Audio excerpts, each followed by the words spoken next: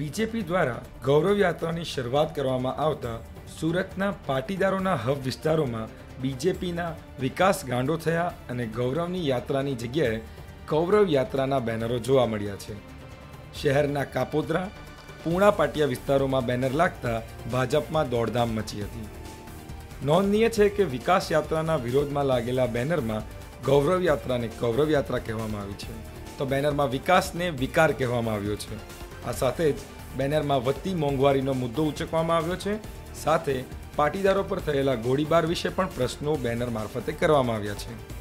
સુરતથી મુસ્તફા પઠાણનો અહેવાલ, મિજાજ dot com.